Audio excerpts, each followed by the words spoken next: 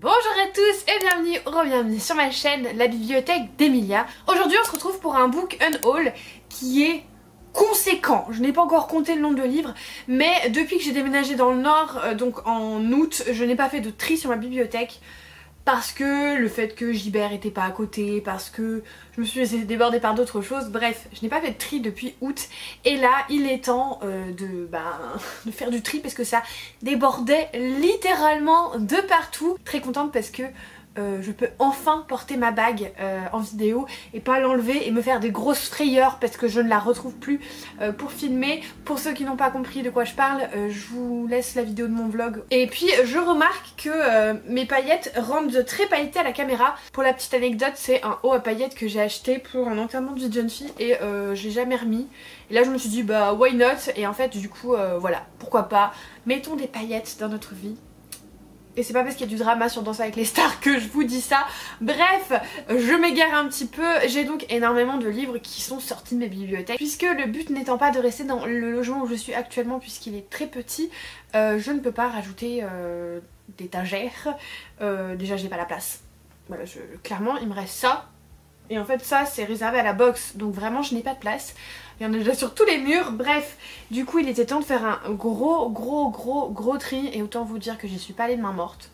Vraiment. Donc, euh, ben, on va y aller. Deux raisons principales au fait que je me sépare de ces livres. Soit, un, je les ai pas aimés. Et du coup, bah, ils trouveront euh, repreneurs, ils trouveront euh, meilleure personne qui les aimera plus que moi. Voilà, c'est un... C'est la vie. Ne me jetez pas des cailloux parce que je me sépare de votre livre préféré. Clairement, je le redis encore et encore et encore à toutes les vidéos, mes avis sont extrêmement personnels. La lecture c'est une histoire de ressenti et heureusement qu'on n'a pas tous les mêmes ressentis sur les mêmes livres, c'est juste que moi ça l'a pas fait. Donc pourquoi les garder? Deuxième raison auquel je me sépare de ces livres, parce que je vais pas dire à chaque fois ça prendrait trop de temps, je les ai bien aimés, mais euh, ils n'ont pas leur place dans le peu d'espace que j'ai puisque j'ai énormément de sagas en cours euh, que j'adore, je vais évidemment pas m'en séparer. Ce qui fait que les one-shots ont tendance à partir un peu plus rapidement. Et pareil, si ça n'a pas été un coup de cœur monumental, bah je m'en sépare parce qu'en fait, euh, vous vous rendez pas compte, mais je lis plus de 150 livres par an à peu près. Vous imaginez si à chaque année je devais mettre 150 livres en plus dans mes bibliothèques C'est juste pas possible. Du coup, bah voilà, parfois c'est comme ça. Euh, oui, si j'avais plus de place, peut-être que certains livres ne seraient pas partis, peut-être que je les aurais gardés.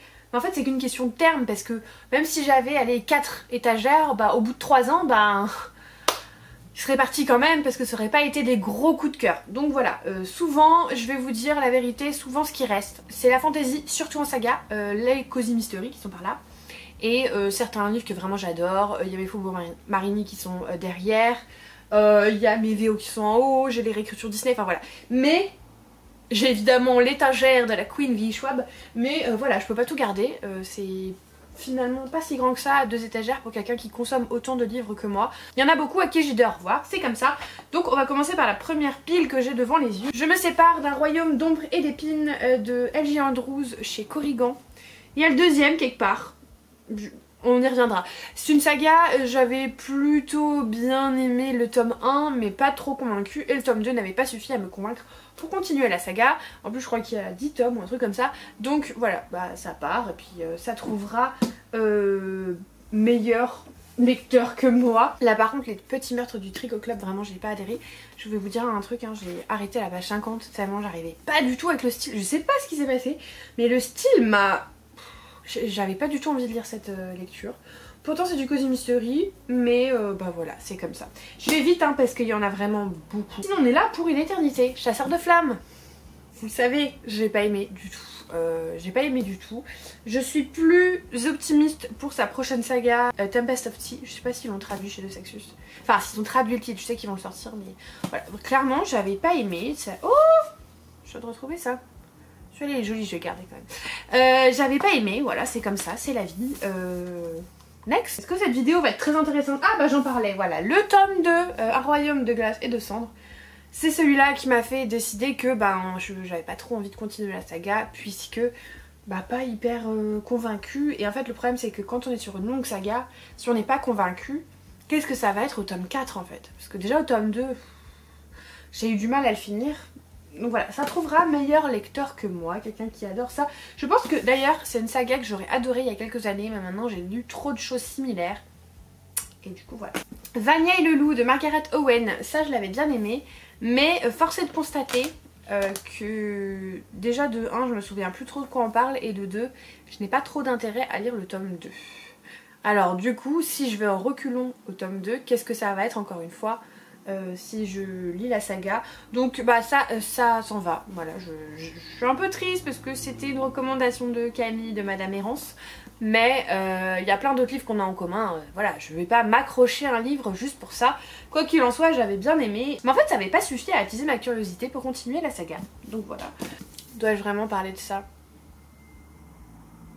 Alors je sais qu'il y en a qui ont adoré, mais euh, moi j'ai eu un gros problème avec le fait qu'on parle euh, du membre du monsieur assez régulièrement euh, en l'espace de 10 pages, alors qu'on n'est même pas à la page 100. Et ça a été un gros stop pour moi, vous le savez, j'aime pas forcément ça. Donc bah ça, ça s'en va. Clairement, je, n'ai aucun, aucun intérêt à lire. Iron Widow de Ziran Jezao, qui est publié chez La Martinière, à l'époque jeunesse, mais là maintenant c'est fiction. Ça, a été difficile. Ça, je vous avoue que ça fait plusieurs fois qu'il passe le tri, qu'il arrive à rester en fait, être un survivant parmi euh, la purge annuelle, on va dire, de mes livres. Mais ah, ça fait trop longtemps que j'ai lu le tome 1. Ça fait trop, trop, trop longtemps. L'autrice a mis vraiment très longtemps à sortir le tome 2 qui est sorti il n'y a pas longtemps en VO. Donc à mon avis il va pas tarder à sortir en VF. Et en fait, entre temps, bah, j'ai perdu l'intérêt. J'ai complètement perdu l'intérêt. Je sais que sur le moment j'avais bien aimé, malheureusement ça fait trop longtemps. Ça fait trop longtemps et, et pourtant vraiment j'ai des souvenirs que j'avais bien aimé, que c'était un truc chouette et tout. Mais j'ai plus l'intérêt, j'ai pas envie de me replonger dedans, j'ai pas envie de chercher un résumé parce qu'en fait vraiment j'ai perdu l'intérêt pour cette saga. C'est comme ça, pourtant j'en ai vu de très bons échos. En plus récemment euh, c'est euh, Books of Sarah qui l'a lu et qui a adoré mais ça n'a pas suffi à raviver la flamme, on va dire. Ça non plus, j'ai pas aimé. Euh, Monstre ordinaire de J.M. Miro. Pourtant, ça avait tout pour me plaire. Hein. Des enfants particuliers, le Londres à l'époque un petit peu industriel. Franchement, ça aurait dû me plaire. Un côté un petit peu Jacques Léventreur. Et malheureusement, bah, je sais pas ce qui s'est passé, mais ça n'a pas du tout matché. Pourtant, j'étais en plus en formation à Paris euh, pendant que je le lisais, et du coup, clairement, je n'avais que ça à faire le soir dans ma chambre d'hôtel. Et j'arrivais pas à lire. J'arrivais pas à lire. Alors, je pense que ça, c'est euh, le meilleur des indicateurs sur le fait que c'était pas une histoire pour moi, puisque je n'arrivais pas à lire, alors que je n'avais clairement que ça à faire. Donc bon, euh, c'est dommage. C'est pour ça que maintenant, je sais pas si vous avez remarqué, j'achète de moins en moins de reliés de Saxus.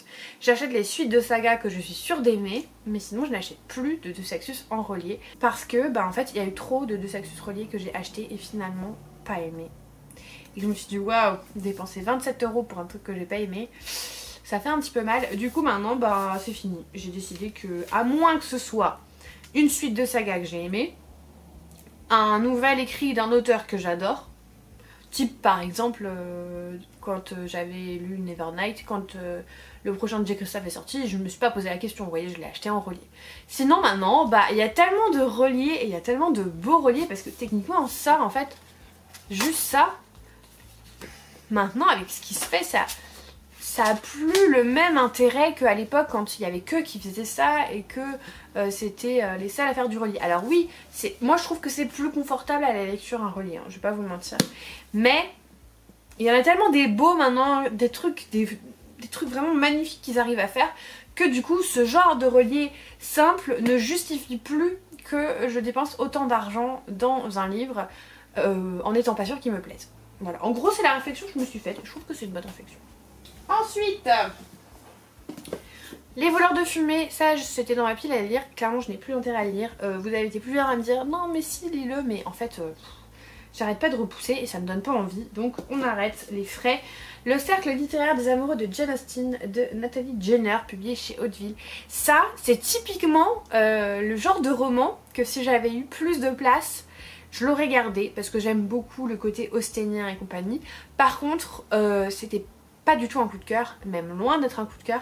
Et du coup, bah quand il faut faire de la place, il faut faire de la place, donc ça s'en va. Complètement idem avec le livre qui suit, vraiment on est dans exactement la même logique. La Reine du Noir de Julia Barthes chez Sonatine. C'était un très bon roman, je me suis régalée, je l'ai dévoré, vraiment ça a été page turner et tout. Mais au moment de faire du tri et au moment de choisir ce qui doit rester et de ce qui doit pas rester parce que bah j'ai pas beaucoup de place, bah ça s'en va, voilà. Mais pas parce que j'ai pas aimé, juste parce que bah malheureusement je manque de place et pas le choix, sachant que c'est un one shot que je ne le relirai jamais sûrement, je pense pas, hein, parce que les thrillers une fois que vous les avez lus une fois, ça a plus trop d'intérêt. Donc voilà, là je vais me faire des ennemis mais c'est la vie, Sorcery of Thorns de Margaret Rogerson. Pourquoi je m'en sépare? Parce que contrairement à beaucoup, je n'ai pas eu le coup de cœur sur cette lecture. C'était bien, mais pas de coup de cœur. Et euh, j'ai détesté Enchantment of Raven, je l'ai pas fini. Donc, enfin détester c'est un peu fort de café, mais je l'ai pas aimé. Et du coup, bah pas envie de, de continuer sur cette lancée. Celui-là je l'ai aimé mais je le relirai jamais. Je n'ai même, même pas acheté le. Vous savez la petite nouvelle là de 110 pages euh, Mysteries of Manor je crois. J'ai toujours Vespertine dans ma pile à lire mais euh, celui-là ne m'a pas assez plu pour mériter avoir une place sur mes étagères. Voilà, c'est tout, c'est tout, il n'y a pas de souci. Lui par contre, vous le savez, je l'ai pas aimé. L'ombre de la couronne d'Abigail Wayne qui... Euh, j'ai même pas envie de rentrer dans les détails, je l'ai pas aimé du tout. Voilà, c'est comme ça, c'est la vie, hein. on peut pas tout aimer.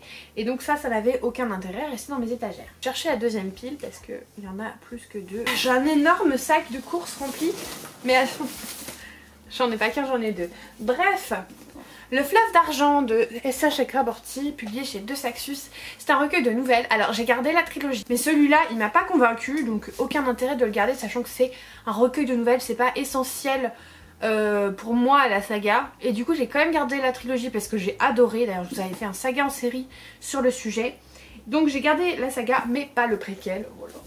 Dans ma pile à lire j'avais Cendrillon est morte de euh, Kéline Béron. Et je sais pas je j'adore Cendrillon pourtant. J'arrive pas à le lire. J'arrive pas à le lire. Il fait 300 pages les gars. Donc euh, je pense qu'il y a un moment faut juste se rendre à l'évidence. J'ai pas envie de le lire c'est con hein, parce qu'avant qu'il sorte en français j'avais trop envie de le lire et en fait le temps a passé et je sais pas, j'arrive pas. Donc ça aussi, ça s'en va. Alors là, rassurez-vous, rassurez-vous, tout va bien. Euh, c'est plaisir violent, vous le savez, c'est une de mes sagas préférées. Mais en fait, euh, force est de constater que même s'il est magnifique, j'ai toute la saga en VO. Et est-ce que est-ce que c'est raisonnable que je prenne de la place pour rajouter juste ça? Juste ça, voilà.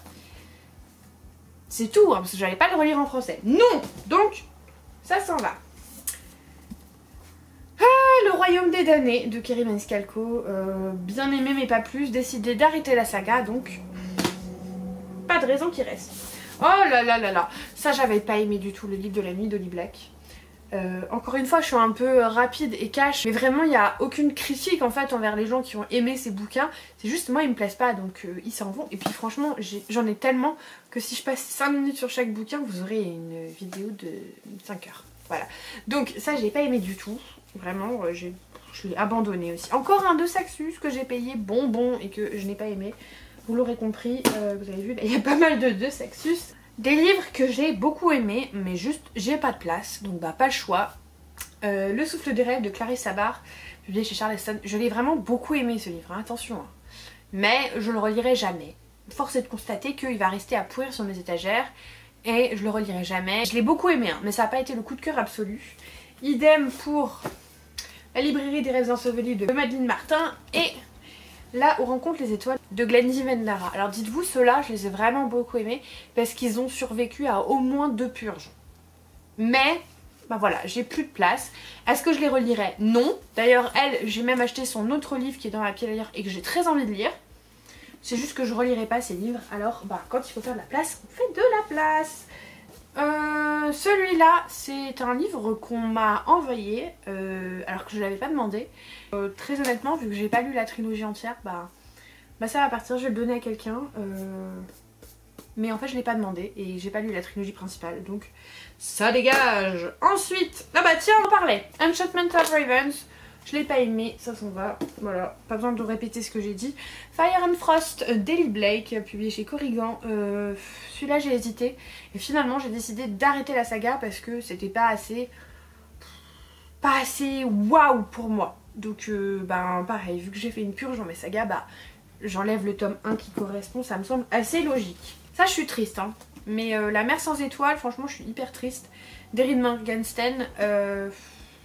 J'ai mis mille ans à la lire et en fait, euh, cette histoire, une fois que je l'ai lue, ben, j'ai pas trop aimé. Enfin, c'est pas que j'ai pas aimé. C'est que j'ai bien aimé, mais pas autant que j'aurais voulu. Je trouvais ça un peu long et du coup, ben, je vais pas le relire. Et c'est pas une œuvre coup de cœur. Donc, bah ça s'en va, hein, c'est comme ça. Euh, ta ta ta. Oula, là on a une myriade de poches. Encore une saga que j'ai abandonnée, euh, la Villa aux étoffes d'Anne Jacobs. J'avais moyen aimé le premier. Non, moyen. Non, c'est celui-là. J'avais moyen aimé le premier tome et le deuxième tome il m'a semblé long d'une éternité. Du coup, ben. Over! C'est fini. Euh, alors là, quelques petits titres de ma palle que en fait je nie pas. Je nie pas, donc bah tant pis. Voilà, il y a un moment où euh, le livre des anciens de Marc Laurence, La plage de la mariée de Clarisse Sabar et La première loi de Joe Abercrombie. Je ne les ai pas lus, je les ai achetés il y a 3 ans. Je crois même qu'il y en a au moins deux qui sont sur ma liste de mes reliques euh, de l'année que je vous mets là. encore une fois, je les ai depuis une éternité. Je les lirai pas. Ou alors, bah tant pis, je les lirai, mais le jour où j'aurai envie de les lire, je les achèterai. Voilà, ou je les emprunterai, ou quoi que ce soit. Mais je peux pas les garder en fait. Euh, L'étrange traversée du Sardane de Stuart Thornton. J'avais adoré le premier qui était Les 7 morts et demi d'Evin Hardcastle que j'ai gardé dans ma bibliothèque. Mais celui-là, ça a été un gros flop pour moi. Hyper déçue parce que j'avais tellement aimé le premier que du coup, ben voilà. Et je vais pas le garder encore une fois. Alors là, ça a été un petit peu difficile mais je le relirai pas. Pachinko de Min Jin Lee. Je l'ai beaucoup aimé. Vraiment, je trouvais que c'était un beau roman, que c'était plein d'émotions et tout. En plus, c'est de la littérature asiatique, j'aime beaucoup ça. Mais j'ai pas de place et ça n'a pas été un coup de cœur. Du coup, bah, vu que c'est pas un coup de cœur et que je sais que je le relirai pas, ben je me répète beaucoup, mais en même temps, il n'y a pas 40 000 raisons d'enlever des livres de sa bibliothèque. Euh, ça, c'était des livres que je m'étais acheté. C'est la Team Romcom euh, pour Noël. Je sais que je les relirai pas. Puis c'était pas... Euh, voilà. là, ça m'a fait mal au cœur. Hein. Noir de Michel Bussy. Que j'avais fait dédicacer en plus. mais en fait, j'ai pas aimé. Vraiment, j'ai pas aimé. Tout le monde l'adore, celui-là. Et du coup, je me suis dit, mais qu'est-ce qui s'est passé? Pourquoi je ne l'ai pas aimé? Je me poserai la question pas trop longtemps puisque ben, c'est comme ça, c'est ainsi. Et puis voilà, je vous laisse, je vais chercher le dernier sac. Alors pour le dernier sac qui vient littéralement de s'écrouler, euh, je vous le dis, il n'y a quasiment que du VO. Donc ben, si ça vous intéresse pas, euh, vous pouvez directement aller à la fin de la vidéo. Il y a 2-3 exceptions, mais globalement c'est quand même que du VO. J'ai notamment La Voix des ombres de Frances Hardringe je devais le lire avec Dylan et en fait euh, j'ai plus envie de lire. j'ai plus envie de le lire donc euh, bah voilà, ça s'en va. La maison au cœur exalté, on m'avait envoyé euh, le tome 1, j'avais dit que je ne voulais pas le tome 2 parce que j'avais pas du tout aimé le tome 1. On me l'a envoyé quand même, aucun risque que je garde ça dans la bibliothèque. Vraiment j'ai pas aimé. Il m'en reste un en VF, c'est The Love Hypothesis d'Ali Hazelwood, tout simplement parce qu'en fait j'ai les versions collector, donc je vais pas garder deux euh, versions dans ma bibliothèque. Je vais peut-être aller un petit peu plus doucement sur les VO parce que euh, bah, parfois vous en avez qui sont traduits. Notamment celui-là, Defy the Night de Brigitte Cabrère. Il a été traduit chez Rajo. Et en fait, j'ai pas encore lu euh, la trilogie. Et j'ai loupé les ventes pour les matching versions, parce que c'est un ferry loot, pour le tome 2 et le tome 3. Et du coup, ben, vu qu'ils sont introuvables, vraiment introuvables, ou alors payer 100 euros pour un livre comme ça, merci mais non. Du coup, ben, je me suis dit que j'allais le revendre que j'allais tout simplement me mettre à la version française. Ça me fera pas de mal. Euh, en plus, ce sera plus facile à lire du coup. Mais celui-là, par contre, très envie de le découvrir. Là, on a deux livres que j'ai pas aimés. Deux Ferry 3. Oh là là, plus en fait, il y en a beaucoup. Mais il faut dire que les Ferry je les ai gardés très longtemps. Donc en fait, vous avez vraiment 3 euh, ans de Fairy Loot euh, qui sont là, sachant qu'il y en a... Euh, enfin bon bref, vous verrez. Là, c'est trois livres que j'ai pas aimés. Ils sont très beaux, hein, mais je les ai pas aimés. If I Have to Be Hunted, je me suis ennuyée. Je me rappelle même plus quoi ça parle. Je crois que c'est une jeune fille qui est vivante et un monsieur qui est mort. Et du coup, elle doit l'aider à redevenir vivant. Mais elle l'aime pas du tout. Je crois que c'est ça j'ai pas aimé, vraiment. Euh, enfin, c'est pas que j'ai pas aimé, c'est que ça m'a fait ni chaud ni froid. Celui-là c'était The Scarlet Alchemist euh, de Kylie Lee Baker. C'est euh, de la fantaisie asiatique et je pensais qu'il allait me, plaire à fond. Et j'ai pas accroché. Et je pense que par contre celui-là c'est peut-être parce que j'étais fatiguée. Mais j'ai pas accroché. Et alors celui-là, tellement triste. Les gars, tellement triste. Et si je le gardais? Oh, vous savez quoi? Celui-là je le gardais. Juste parce qu'il est beau. Je peux pas revendre ça. Je l'ai pas aimé du tout, mais il est trop. Donc celui-là, je le garde. Celui-là, il a un petit peu de sursis pour rester dans ma bibliothèque. Ça me fait penser qu'il y en a qu'un en fait que j'avais laissé qui était euh, La fille de la déesse de la lune, puisque je n'ai pas aimé la duologie. J'ai bien aimé le premier tome. J'ai adoré même le premier tome. Euh, mais pas la duologie. J'ai gardé le premier tome parce qu'il est magnifique. Et justement, le deuxième tome, le voici, le voilà. Celui-là, vraiment, je l'ai pas aimé. Enfin, je l'ai pas aimé. J'ai pas été conquise et j'ai été déçue parce que j'avais tellement aimé le tome 1 que du coup, bah déçue que ça se passe comme ça. Euh, je vais vendre que celui-ci et pas le tome 1 parce que le tome 1 je le trouve vraiment sublime et c'est juste le plus beau livre de ma bibliothèque donc je ne vais pas le revendre. Euh, mais celui-là, il s'en va. En plus, le tome 1, j'ai des bons souvenirs, donc je veux quand même le garder. Là, on a un livre que j'avais aimé, qui s'appelle The Stardust Thief, de Chelsea Abdullah. C'est de la fantaisie orientale, et je l'avais bien aimé, vraiment. Mais, comme beaucoup de livres, je vous ai déjà dit ça plusieurs fois. Je l'ai lu en 2022. La suite n'est toujours pas sortie. Et du coup, bah, j'ai perdu l'intérêt total de ce livre, malheureusement.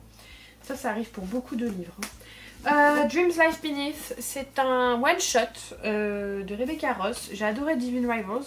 Et celui-là, j'ai eu un peu plus de mal. Et en fait, le truc, c'est que c'est un one-shot. Donc, vu que je l'ai pas hyper, hyper, hyper aimé, bah il va partir. Là j'ai la duologie Fable version euh, Fairy Loot que j'ai pas aimé du tout. Mais je pense que j'ai pas aimé pour une bonne raison, c'est que je les ai lus en anglais et qu'il y a énormément de langage maritime. Et le problème c'est que du coup, c'est pas du langage courant, c'est pas un langage que je connaissais et j'ai passé mon temps à chercher la signification des mots et ça m'a gonflé. Je pense que c'est pour ça que je n'ai pas aimé, parce que j'en ai entendu que des bons retours. Et Peut-être que j'aurais dû la lire en français cette saga. Mais j'ai voulu avoir les belles versions et tout machin. Et ça m'a coûté un bras et je n'ai pas aimé. Oui, ça m'a coûté vraiment un bras.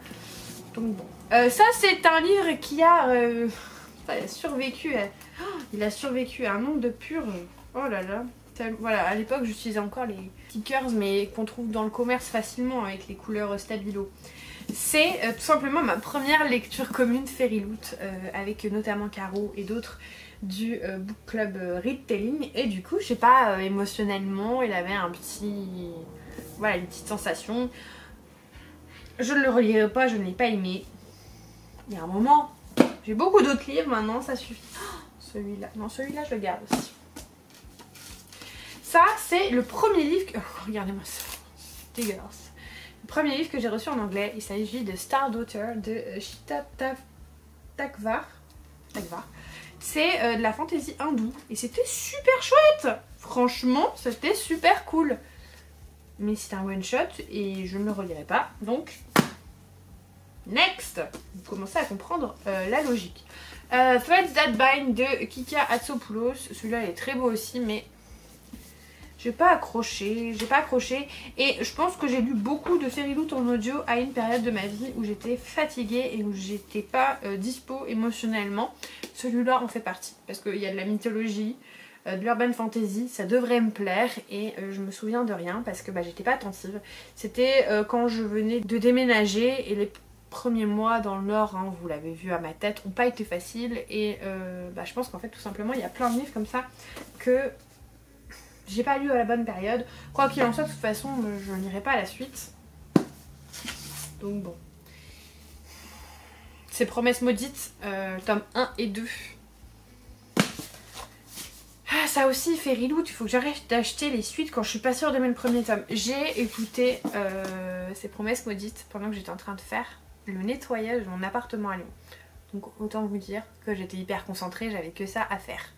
Écouter en même temps que je frottais. Vraiment, c'est le, pour moi la meilleure façon d'écouter un audiobook et d'être hyper concentré, c'est de faire une tâche mécanique qui ne demande aucune réflexion. Et en fait, je pense que ça, quelques années auparavant, j'aurais adoré. Mais j'ai lu tellement de choses qui y ressemblent, qui s'y rapportent, que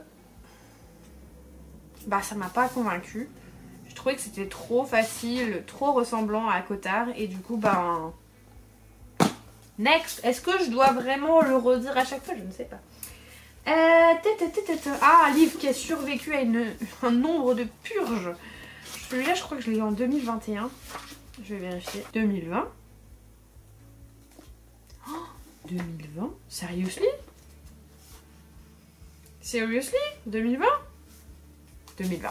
Ça s'appelle Horrid et c'est franchement une super histoire, très gothique et euh, qui va emprunter énormément à euh, tout ce qu'on connaît ces derniers temps, un peu mexicaine, gothique et compagnie, même si ça arrivait avant, avec euh, une fille très bizarre qui mange des choses qu'elle devrait pas manger et des fantômes et c'était trop bien, mais pareil, je ne le relirai pas.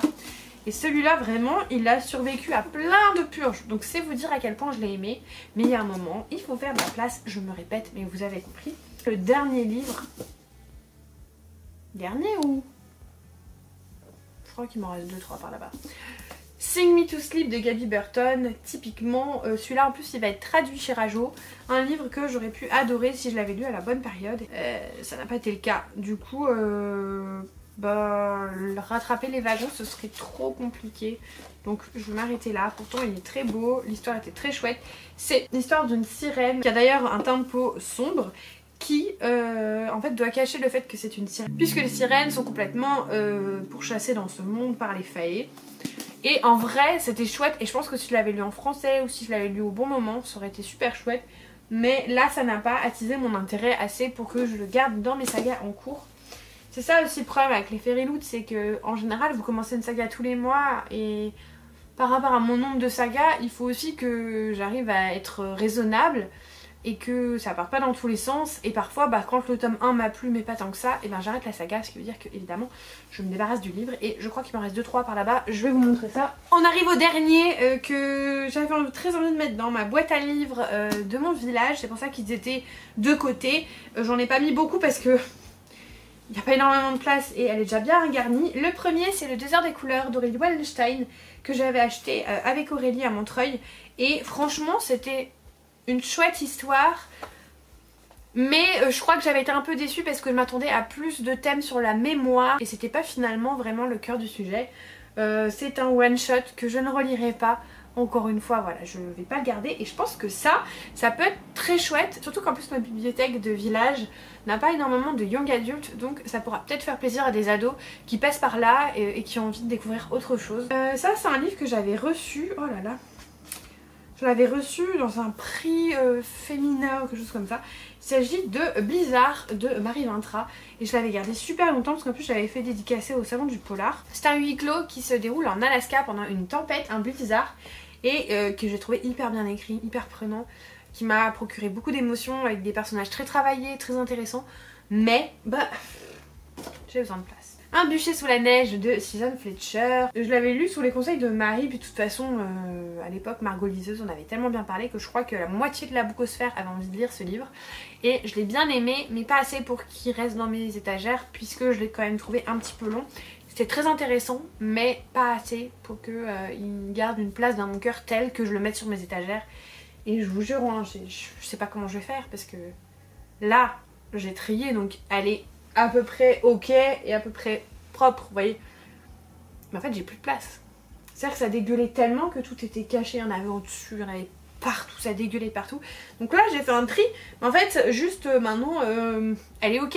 Mais je vais faire comment dans les mois qui viennent quand je vais rajouter? En fait, à chaque fois que je rajoute un livre, il faut que j'en enlève un. Et ça, ça va être hyper dur parce que, ben... Voilà. Ça, ça m'a fait mal au cœur, je vous jure. Extincta de Victor Dixon. Je le mets en boîte à livres notamment parce que, il est signé, évidemment. Hein, puisque... Euh, il est dédicacé par l'auteur. En fait, je... Clairement, ce livre, j'ai pas réussi à lire. Oh, j'ai vraiment, j'ai essayé, mais je me suis ennuyée et j'ai tellement mal, mal au cœur de ne pas avoir aimé Victor Dixon. Et en fait, je me rends compte que j'aime pas forcément les vieux travaux de Victor Dixon. J'adore sa saga Vampira, mais les autres, j'accroche pas du tout. Et du coup, bah ça, euh, je me dis, ça peut faire plaisir aussi, pareil, à un ado euh, de mon village qui a pas énormément de choix. Et ça peut être cool. Et enfin, euh, celui-là, j'ai besoin de vous. J'ai besoin de vous pour m'aider à décider. Un cœur pour Noël de Sophie Jomain. Je l'ai beaucoup aimé, je l'ai lu l'année dernière, mais c'est un système de livre de calendrier de l'Avent et pour être très honnête, je suis sûre, certaine que je ne le relirai jamais. Mais je l'ai fait dédicacer, donc je sais pas. Mais je pense que je pense que pareil, je vais le mettre en boîte à livres euh, pour, bah, pour quelqu'un. Celui-là, je vais peut-être attendre que ce soit le mois de décembre. Enfin, octobre-novembre avant de le mettre euh, parce que c'est peut-être la meilleure période où il pourra partir. Mais euh, voilà, je pense que je pense qu'il faut faire de la place et que ça je ne le relirai jamais. Là on est arrivé à la fin de ce gros unhaul, je suis passée très très très très vite sur beaucoup de livres mais j'en avais beaucoup et en fait euh, bah, comme vous avez vu mes raisons principales c'était soit j'ai pas aimé soit je n'ai pas assez aimé pour le garder vu que j'ai besoin de place. Euh, à part répéter ça H24, euh, je vois pas trop quoi dire de plus sur ces livres. Il y en a que j'ai bien aimé, vous le savez, je vous le dis, vous suivez mes lectures. Euh, voilà, je pense que de toute façon, je peux rien dire de plus. il y en a que je vais revendre chez Gilbert Joseph. Il y en a beaucoup que je vais donner à de la famille, puisque maintenant j'ai beaucoup de famille à côté. Enfin, c'est pas la mienne, mais c'est ma belle famille quoi. Il y a beaucoup de monde à côté euh, qui pourrait euh, avoir envie de lire certaines de ces lectures. Euh, je vais en donner à mon travail, je vais en mettre en boîte à livres. je vais en vendre quelques-uns chez Gibert et puis je vais, je, vais, vendre mes Fairy Loot sur Vinted et quelques-uns sur Vinted aussi. Donc voilà, pas tout de suite parce que clairement j'ai pas le temps de faire toutes les fiches produits mais ça viendra donc si jamais euh, n'hésitez pas à me suivre sur Vinted je vous remercie d'être allé jusqu'au bout de cette vidéo si jamais euh, vous êtes toujours là mettez une petite pile de livres parce que clairement moi j'en ai partout partout mon conjoint est fou et quand il voit tout ça mais bon bah pas le choix. Évidemment, je vous remercie de tout votre soutien vidéo après vidéo. Je me répète, mais si vous avez adoré un livre euh, dont je me sépare, ne prenez pas mal, euh, chacun a ses goûts, euh, je respecte tous les goûts, je pense pas avoir été euh, irrespectueuse, à part dire je n'aime pas, j'ai pas dit que c'était nul ou quoi que ce soit, j'espère en tout cas pas avoir été respectueuse, en tout cas si votre petit cœur a saigné, pardonnez-moi, vraiment je, je veux pas vous, vous blesser. Si vous êtes toujours pas abonné, n'hésitez pas à le faire, mettre un petit commentaire et un pouce en l'air. C'est pas grand chose, mais ça peut énormément soutenir les créateurs de contenu que vous suivez. Donc si jamais vous avez envie de nous soutenir, n'hésitez pas à effectuer ces petites actions. Et évidemment, en attendant la prochaine vidéo, je vous souhaite de merveilleuses lectures et je vous fais des bisous